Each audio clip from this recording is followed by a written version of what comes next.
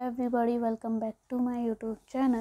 Today video is going to focus on Farmmi stock. It was one of the stock that we have covered in a recent video and as this was the biggest one in terms of revenue. We thought let's have a look at them first and after having done the analysis in them we go to admit this a pretty interesting company with lots of interesting plans for the future. They want to grow their business significantly and the different ways that they want to achieve this so we can easily see that the stock was trading at 0.22 US dollar at 0.042 US dollar losses with 1.84% negative loss.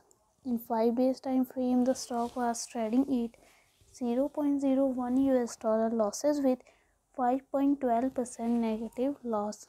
In 1 month time frame the stock was trading at 0.06 US dollar losses with 19.86% negative loss.